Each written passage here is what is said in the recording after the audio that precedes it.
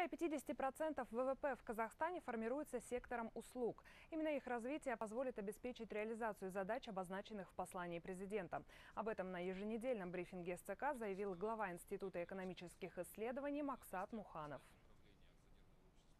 Этот сектор имеет очень большой потенциал для э, обеспечения занятости, перехода к наукоемким э, сервисным таким секторам.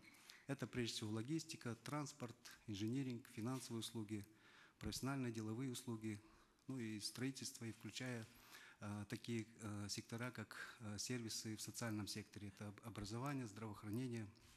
То есть этот сектор у нас сегодня, так скажем, преобладает в структуре экономики, поэтому особое внимание послание, конечно, уделялось этому сектору также.